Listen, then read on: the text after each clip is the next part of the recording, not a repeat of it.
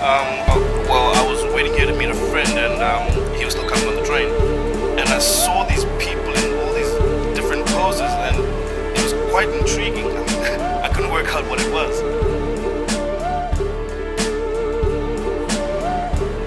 They follow you around and stalk you and stuff like that, you know?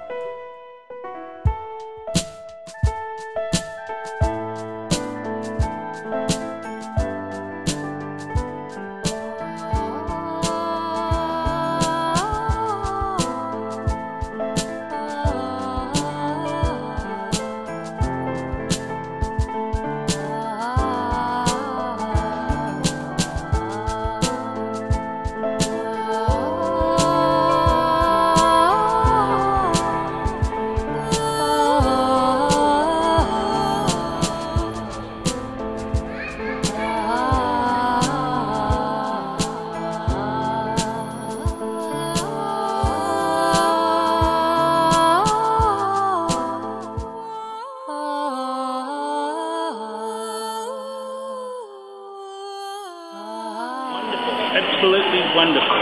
If only the world could take a lesson from it.